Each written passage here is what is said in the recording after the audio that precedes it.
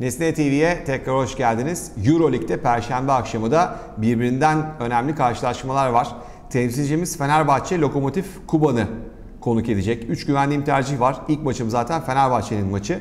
747 koduyla saat 21'de Ülker Sports Arena'da e, Fenerbahçe Lokomotiv Kuban'ı konuk edecek. 151.5 sayılık toplam sayı limiti var. İlk yarı 3.5 maç sonu 6.5 sayılık handikaplar. Konuk takım Lokomotiv Kuban'da. Ee, şunu söyleyeyim ben Fenerbahçe'nin maçı kazanması bekliyorum. Handikapsız e, maç sonu bir değerlendirebilir ama tabii oranı 1.25. Ee, aynı zamanda maçın ben üst bitmesini bekliyorum. 151.5 sayılık toplam sayı limiti var. Ee, bu maçı birazcık hani Fenerbahçe kaçacak, Lokomotiv Kuban kovalayacak. Ee, sürekli e, tempolu oynayacak bir karşılaşma olmasını bekliyorum. Lokomotiv Kuba'nın geçtiğimiz hafta Anadolu Efes'i e, yendiğini hatırlatalım bir sayılık farkla yendi ki Anadolu Efes maçı sürekli önde götürmüştü. Ee, bir kere Lokomotiv Kuban'da Ryan Brokoff, daha önce Beşiktaş'tan tanıdığımız ve Malcolm Delaney gibi iki önemli skorere sahip. Ki e, Ryan Brokoff son Anadolu Efes maçında iyi oynamamıştı ama son hücumda attığı üçlükle maçı bir anda Lokomotiv Kuban'a getirmesini bildi. Fenerbahçe zaten hücumda e, Lokomotiv Kuban'a karşı e, çok sorun yaşayacağını düşünmüyorum. E, Lokomotiv Kuba'nın da skor potansiyeli olan oyuncularından sayı bulacağını düşünüyorum. Bence üst tercih 151.5'tan bence mantıklı olan tercih. İkinci maçım e, saat 21.15'te 748 koduyla Yunanistan'da Oaka'da Panathinaikos Kızıl Yıldız'ı konuk edecek.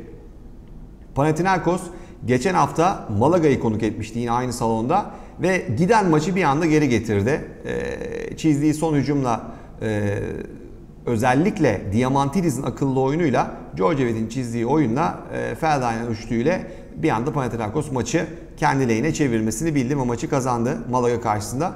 147.5 sayılık toplam sayı limiti var. Kızılyıldız'ın ben o akada Panathinaikos'un sert savunmasına karşı çok fazla skor bulmasını beklemiyorum.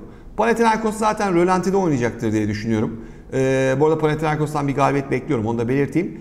Ee, alt tercih burada benim içime sinen tercih. Bence en mantıklı tercih de alt tercihi. E, Panathinaikos'un o akada Kızıldız'a çok fazla sayı izni vermesini beklemiyorum. O yüzden 147.5'tan alt tercih ön planda. Ve 21.45'te 749 koduyla Malaga Cedevita Zagreb'i konuk edecek İspanya'da. İlk yarı 4.5 maç sonu 8.5 sayılık handikaplar. Konuk takım Cedevita Zagreb'te. Cedevita son maçlarda gerçekten çok ciddi iniş çıkışlı grafiğe sahip. Özellikle Adriyatik Ligi'nde önce deplasmanda Kızılyıldız'ı yenmesi, daha sonra kendi salonunda Buluşnos'a e, Buluşnos'a farklı yenilmesi e, benim için çok enteresan bir durumdu. Özellikle ilk yarıda Sedevita 18, Buluşnos 50 böyle enteresan bir skor vardı. E, Sedevita ilk maçında da deplasmanda temsilcimiz Darüşşafaka Doğuş'u mağlup etti İstanbul'da. Çok enteresan bir takım. Enteresan sonuçları imza atıyor. Ama ben Malaga deplasmanında çok fazla varlık göstereceklerini düşünmüyorum. Malaga'nın da geçen hafta yenildi Malaga Panathinaikos'a. Bu sefer ben kendi salonunda Cedevita Zagreb'i çok net bir şekilde, rahat bir şekilde geçmesini bekliyorum. Maç sonu bir tercihim var. E, temsilcimiz Fenerbahçe'ye Perşembe akşamı için başarılar diyelim. Herkese oynadığı kuponlarda bol şans. Görüşmek üzere.